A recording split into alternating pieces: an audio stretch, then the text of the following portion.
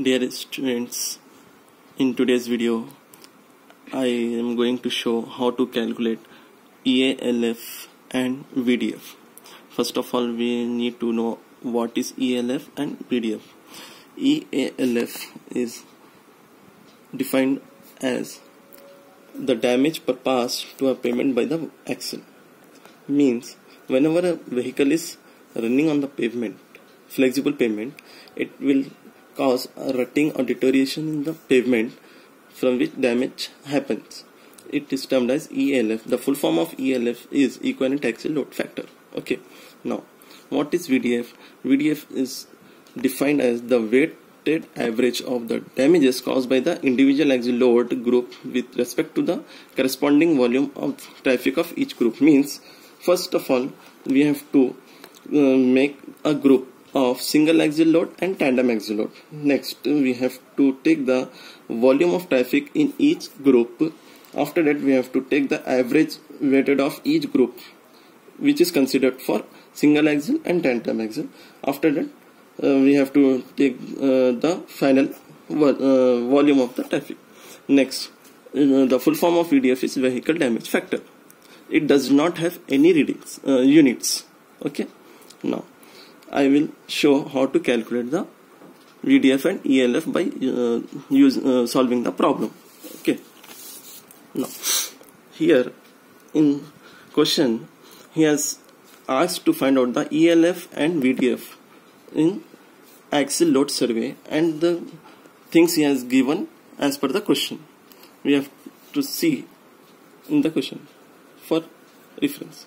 Okay. Now, he has mentioned here single axle and tandem axle loads. Okay? Now see here axle load in terms of tons he has given. Here also in terms of tons it is. Okay? And number of axles he has given. Now come towards the problem. Solution.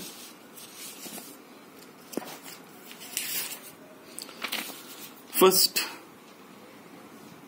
first point of solution. First step of solution.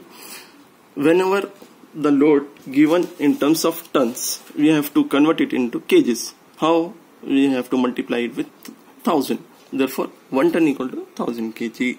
Next, for calculating EALF for single axle load, we have the formula E uh, ELF equal to axle load in kg by 8160 whole power 4, which is as per the IRC 37 2001 uh, you can refer on page number 56 now for calculating the tandem axle load we have the formula ELF equal to axle load in kg by 14960 over power 4 as per the IRC 37 2001 on page number 56 you can refer.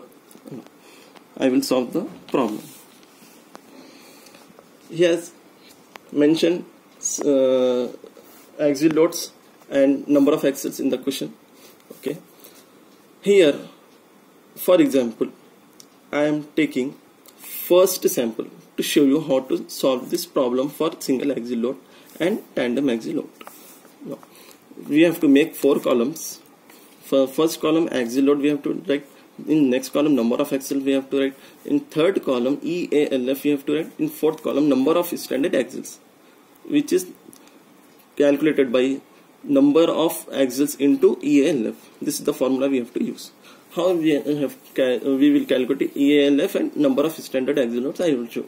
Now, for first sample, I am showing here that in the question he has given two tons.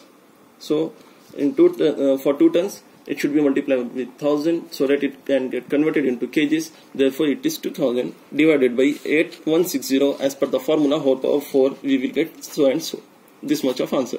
Now number of standard axles as I have shown here number of standard axles next step we have to find. What is the formula? Number of axles into ELF number of axles he has given ELF number of axles into ELF we have calculated ELF number of axles he has given in the question as 10 or 20 whatever he has mentioned. We have to take that and multiply with this. So do calculation for remaining uh, values and take the total uh, summation of that next. For tandem axle for tandem axle I am taking the first sample. The uh, for solving the solution for tandem axle loops. He has mentioned in the question as 4 in terms of tons. Now I have converted into kgs. It will become 4000 by 14960 as per the formula of power 4 we will get so and so answer. Now next we have to find number of standard axles.